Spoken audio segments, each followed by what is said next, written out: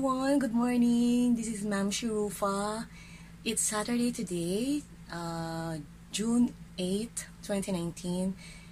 And katatapos ko lang mag-breakfast kasi uh, may work kami kahit Saturday. So, I'm preparing for work. And I've decided to make a vlog na kung ano yung mga ginagawa ko kapag Saturday or my Saturday routine. Papakita ko sa inyo. Okay? Uh, maliligo muna ang Ma'am Shirupa nyo. Then, balikan ko kayo, ha? Hello guys, I'm back. Uh, yan, nakatapos na ako maligo at nakapag-ayos na rin ng konti. Nag-makeup na ako ng konti kasi Saturday naman ngayon. Kaya, simplihan lang natin ang pag-ayos.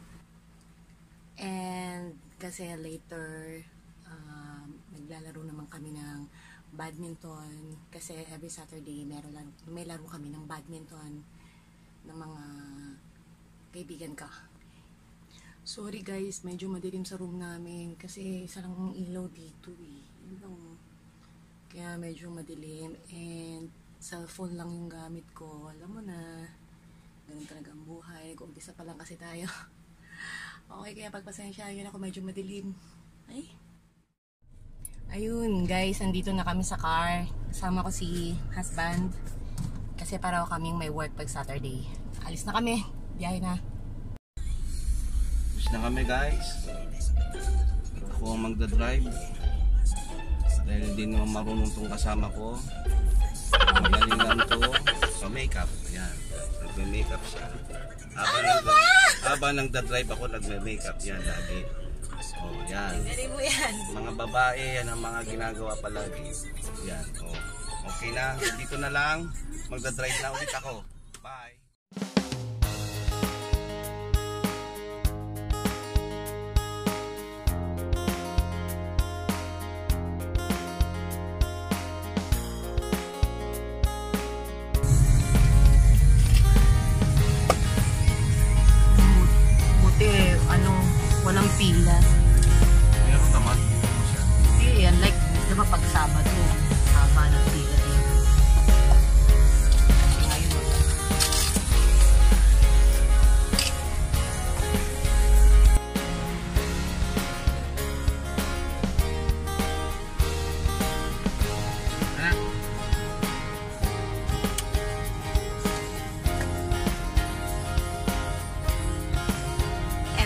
Kami, North Luzon Expressway.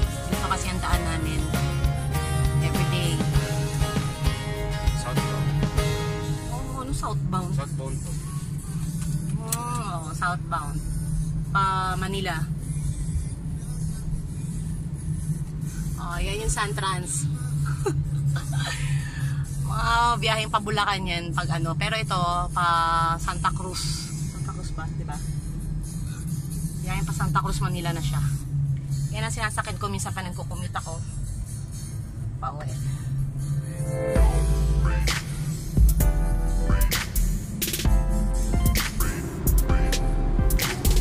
Sana sa EDSA ganito, no? Maluwag. Kaso hindi eh. Wish lang na marami ganito ang ano sa EDSA.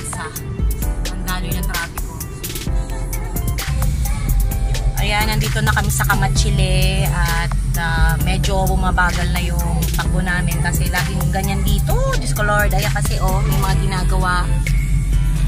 Lagi na lang may ginagawa. Kamachile going to Balintawak. Dito lagi nagbe-build up yung traffic. Diba, medyo makulimlim yata ngayon ah.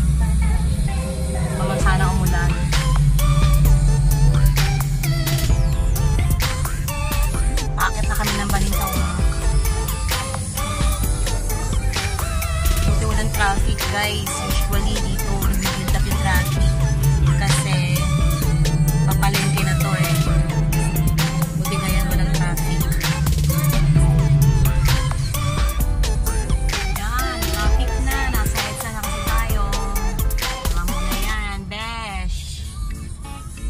Sa EDSA lang may forever.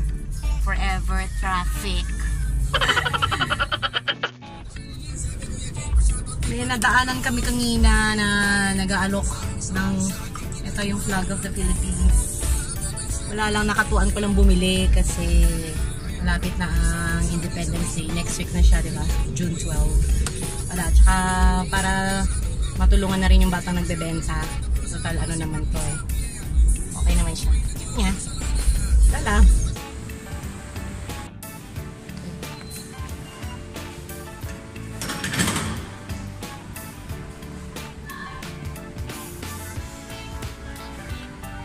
Nasa office na ako. Eh, kita pala yung dress. Yan. Uh, second floor.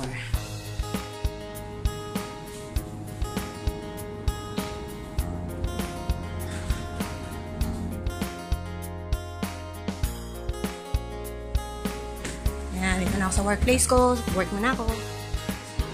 Ayun guys, nandito na ako sa workplace ko. Dito na ako sa pwesto ko. Uh. Ayan na, tambak na yung mga gagawin ko. Okay, mag-work muna ako. Biglang tayo mamaya. Ayan, tapos na ako sa work. Eh, medyo nagugutom ako, kaya pupunta muna ako sa canteen.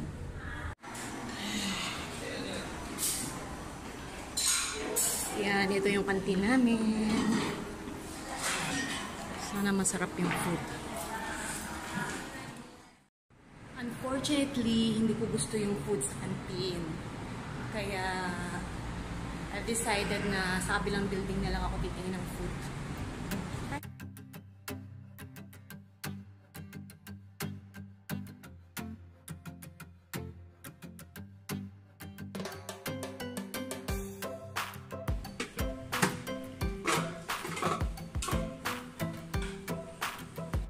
Yan, ito yung food ko ngayon. Tortang talong, tsaka scrambled egg, tapos may free soup.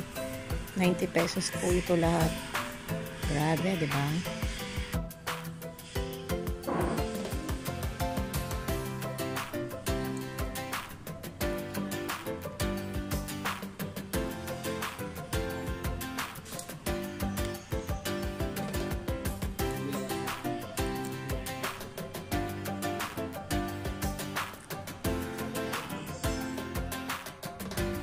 Mabilis ang kain ng ginawa ko kasi hindi ko type yung ulam ko na tortang.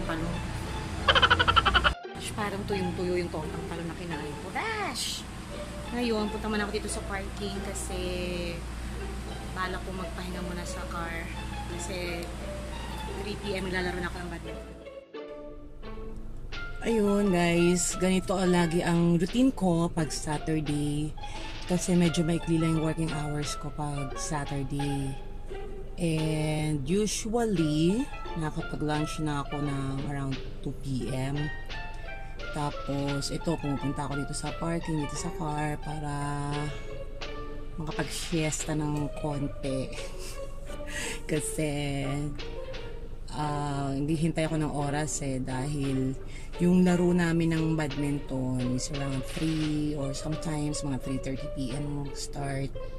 Inihintay ko pa yung mga ibang player ko nandito na sa court.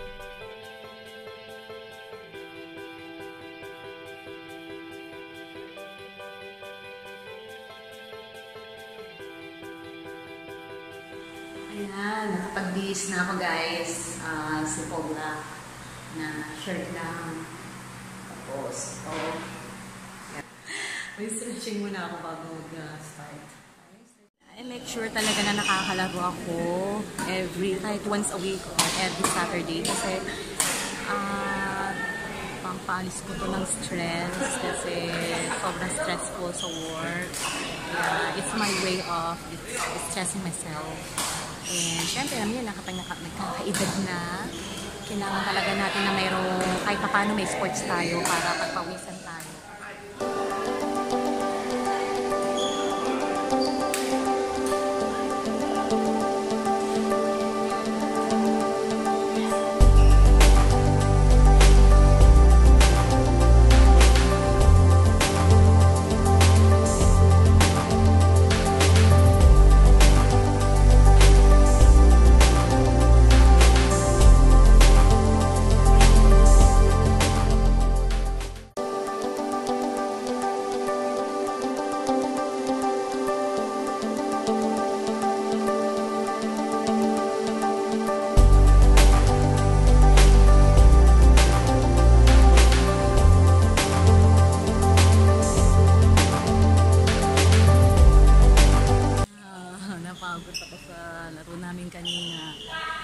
Kasi ah, one month akong hindi nakalaro kaya medyo nanibago yung katawan ko, hiningal ako. Ah.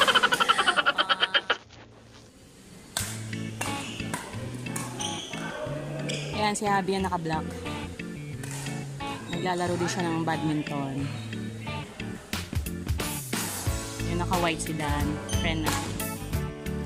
Yan naka-red si Arbian, brother-in-law ko. Tapos yung naka-yellow green, si Sai.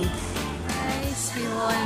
Naskin ko na ah, importante rin na right after your game, eh, mag-stretching ka pa rin para ma-relax na yung mga muscles mo. Kaya, ayan, stretching na ako. Then, after that, konti. Then, naligo na. Ayun guys, katatapos ko lang maligo. at quick bath lang para hindi masyadong ano, sa katawan natin. Pero kasi nakaka-umuwi ng pawis na pawis ka. Kaya naliligo ako after ng laro eh. Pero sabi ng mga matatanda, ng mga nanay-nanay natin, masama daw yun kasi mapapasama daw yung katawan natin. Pero sabi naman nung iba, okay lang naman daw basta ano, mabilisan lang yung ligo. Guys, it's up to you ha. Hindi ko sinasabi na gawin niyo itong mga ginagawa ko na maligo, kayo pagod, o ano. Hindi ko, hindi ko sinasabing gawin niyo yun. Nasa sa inyo yun. Discretion niyo yun kung gagawin niyo o hindi. Basta ako, ganito kasi yung routine ko lagi pagka Saturday. Ayan, wala ng tao, madilim na. Kasi nag-uwian ng iba. Pero yung iba nagstay pa dito.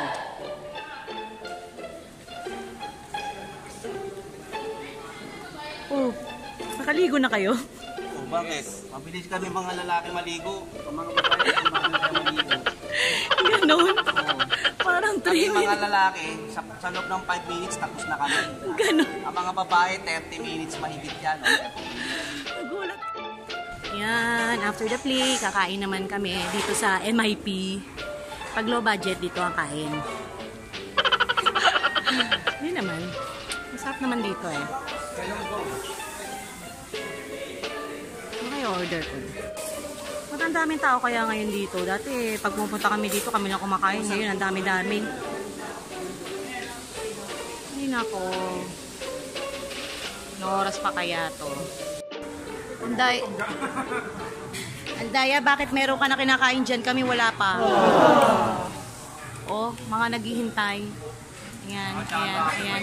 Ayan, finally, dumating na yung pagkain ko, tocino and egg. Wala na mapili lahat ng in-order namin. Wala. May pagkakulot. Ayan. Kain-kain muna kami, guys. Sa ilong mo galing. Kain tayo. Yun guys, nakakalungkot din pala, nakakapanghina. Panghina dahil nani yung mga chicks ko. Nakakapanghina pala yung naubos na yung mga girlfriend mo. Dati marami nag-aalaga sa akin, ngayon isa na lang, pangkatabi ko. Hindi man ako minsan maalagaan nito.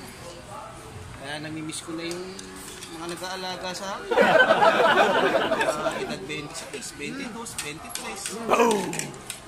Ayun, mga nakitira, burang na lang. Hirap na din. Grabe ha. Okay, dyan muna kayo guys, saka na lang ulit ako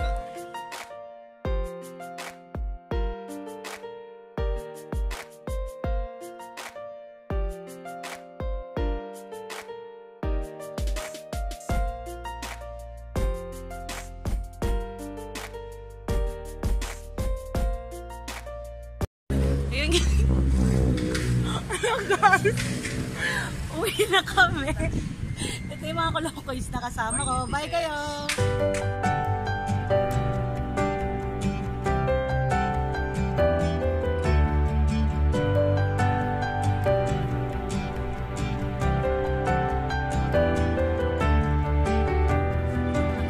Finally and it's 9.45 p.m. Ah, ngayon pa lang natapos yung Saturday ko. Ah, lagi yan ganyan na ano, gabi na kami dumarating ng ah, Saturday. Ayun, sobrang pagod and sakit-sakit na ulo ko. I really want to sleep na. Buti na lang wala akong pasok tomorrow. Okay, yun lang. And thank you for watching. And sa mga hindi pa po nakakapag-subscribe sa channel ko, please, please po, uh, subscribe to my channel. And don't forget to click the bell para ma-notify kayo kapag may bago akong post. Okay? Thank you guys! Good night and God bless us all!